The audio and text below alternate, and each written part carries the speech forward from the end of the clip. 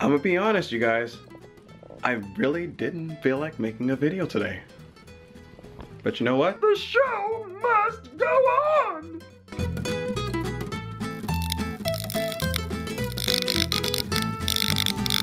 I'm certain that I'm not the only person that deals with this. You know, those days where you just wake up, you know you got stuff to do, but you just don't feel like doing anything at all. You just want to lay there and just be, I don't know, be lifeless or just not leave the house at all, at least. I've been there plenty of times in my life and today is no exception. Now, I, I am already dressed and everything. I took a shower and shaved and all that good stuff. But, you know, honestly, while I was doing it, I just didn't feel like doing anything at all. I just wanted to sit around and just maybe watch videos all day, watch movies or something. And, and just, just enjoy, enjoy my home. You know, enjoy, enjoy where I stay. I, I like it here. I, I, sometimes I don't feel like going anywhere and this is one of those days. But, I do have a trip today. It's a very short trip, very easy trip but I, I'm gonna have to leave the house regardless. But getting up to go to work, um, that, that's not an issue for me. I know I have to do it.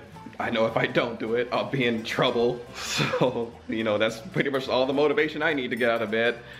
But when it comes to filming, that's a little different. I don't have to film. I don't have to pull out this camera. I don't have to say anything. But I, I want to because, you know, I enjoy doing this stuff but like I said, this is just one of those days where I just didn't feel like doing anything. So the reason I am doing something, the reason I did pull out the camera is because I want to challenge myself personally to see what I can create when I feel as though I'm at my lowest.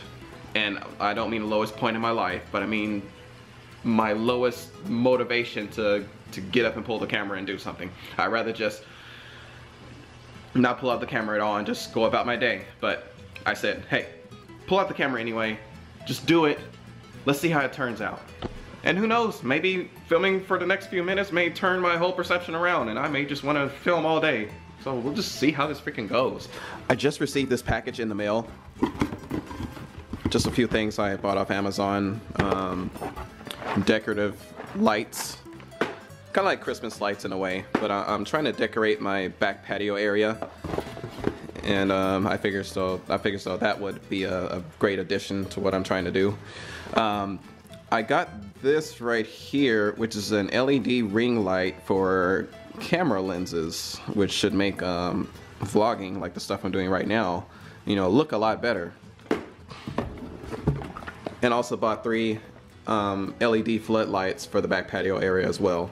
So that's an entirely separate project that's going to come a little bit later. Um, I will decide to, uh, well I already decided, I'm gonna make a video of where I live and everything and, and um, you know, show the living conditions of a pilot. This is a project that's gonna be for another time. Um, I'm, I'm gonna film that as well, you know, when that time comes, but for now, I'm just gonna, let me show you this. This is what I'm actually excited about.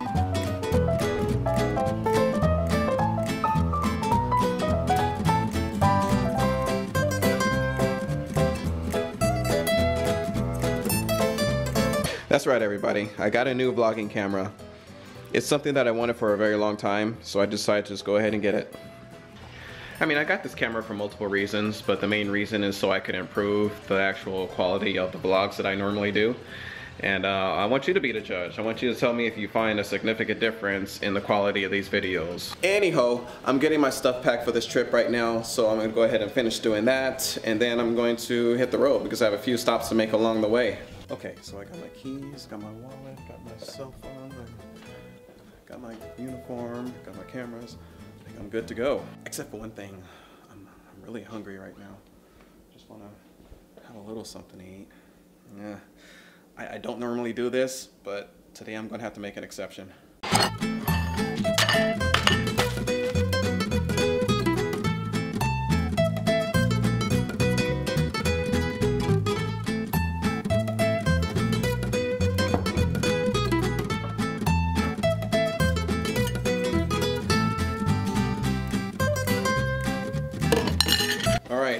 Care of that.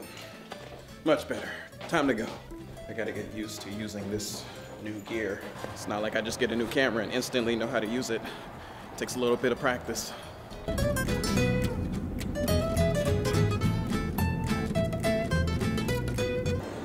right, we're in a plane. Here we go.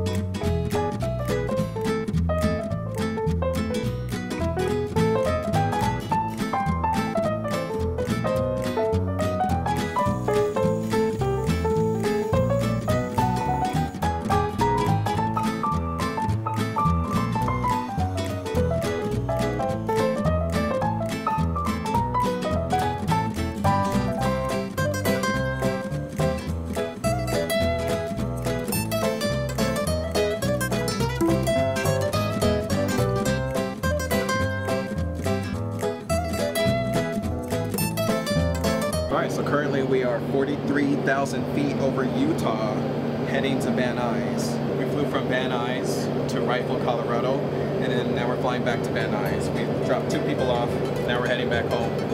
They had some catering on board, which they generously, they generously left some behind, so got some food to eat when we get back home.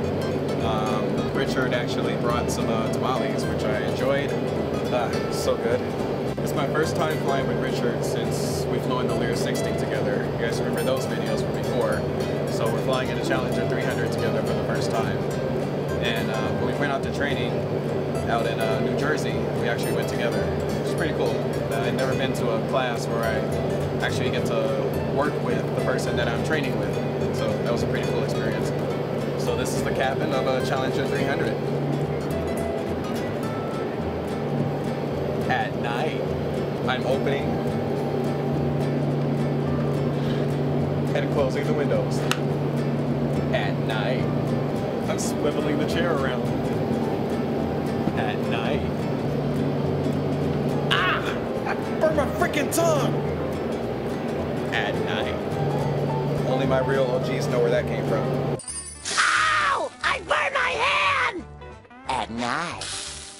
My initial thoughts on this airplane, I really enjoy it. Compared to the Learjet, I mean, the climb performance is not as good as a Learjet. You know, when you push those throttles all the way forward in a Learjet, you're back in your seat like you wouldn't believe. This airplane, not so much, but it's still good. What used to take maybe 12 minutes or so to get from sea level to 41,000 feet, take about 12 minutes, sometimes 13. This plane, it takes about 16, 15 to 16. So just a little lack of performance. But my God, the room in this airplane is great. I mean, the leg room um, up in the cockpit, fantastic. And I still got my foot warmers that they have on the floor. I really love that. The lavatory is designed way better than Learjet. Anybody who's flown a Lear 60 before or any type of Learjet will know that the toilets are crap, pun intended. I also really like the fact that the baggage is easy to access. We don't have to go outside to get the bags. We can get whatever we want from in here. Hey, let me show you.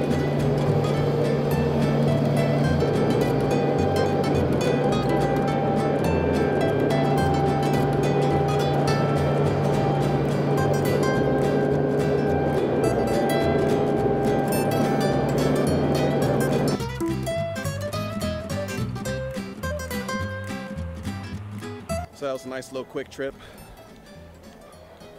Just landed Van Nuys, got the plane all nice and clean, prep for tomorrow's flight. But I'm not going on tomorrow's flight.